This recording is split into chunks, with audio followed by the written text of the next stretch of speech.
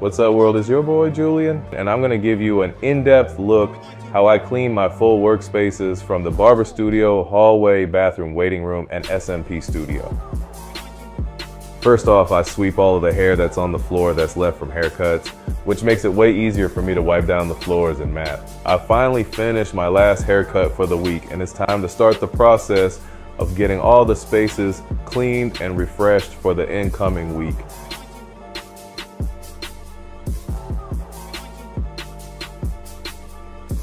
Next, I wipe down all of my surfaces to make sure there's no dust or hair particles.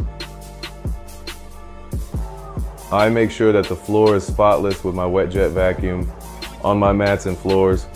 I take a lot of pride in taking care of my space. It's really a labor of love. Barbering and SMP are my passions and ensuring that I come in on Monday to a clean space with a clear mind is essential for me to be ready to work. Taking the trash out into the hallway so I can collect it out of every room and take it to the dumpster. Got to make sure that the, the hallways are swept and clean and never know what dirt people track in from outside keeping them decent condition. I spend a lot of money on them and I make sure they're treated with respect. Headed into my second hair studio to clean, disinfect, and get prepped for the upcoming week. Making sure that my chairs are sanitized with antibacterial spray is very important. I gotta make sure that they're wiped down and ready to go for Monday morning. For a while, uh, this room smelled like burned hair. I'm just now getting the smell out. That's a whole other story for another video. I make sure that this room stays pristine for whenever I need it.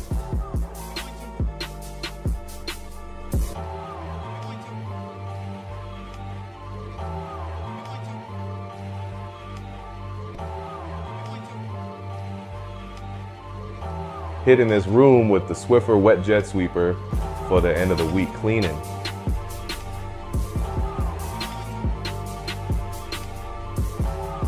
I'll make sure that the bathroom is fresh and sanitized for customers and myself.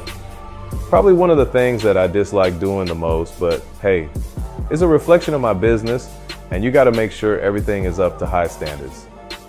It keeps me humble in a way because these ways times where I wish I had my own space and dreamed of what it would be like. So now I can't really complain about cleaning or keeping up with maintenance or if there's any issues because in all it is really a dream. Scrubbing the sink with disinfectant spray and scrubbing the toilet with Ajax cleaner. These are the things as a business owner that may not be glamorous, but you may not want to do them, but they have to be done.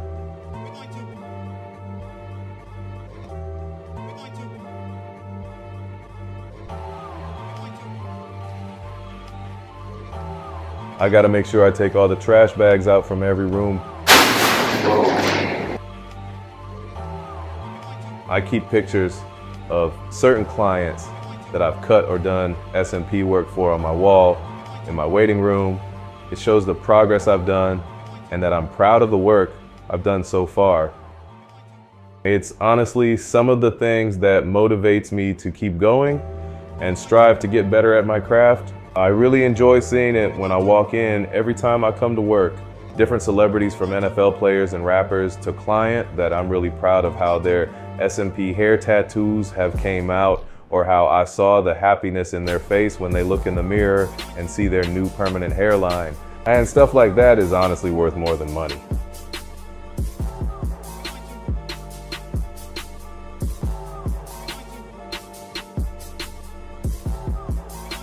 Just doing a light sweep in the waiting room area with the glass table, some leather couches, chairs, and my refrigerator that I keep stocked with complimentary beverages for customers. I wanted the area to have a nice chill vibe as soon as you walk in.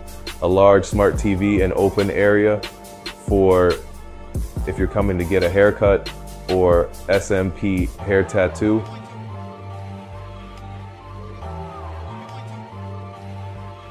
On to clean the final room, the SMP studio. Um, the SMP studio is usually in use on Sundays for when I have a hair tattoo session scheduled. Uh, um, I'm still finishing up the final touches on this space where I'll have my own office and a reception desk.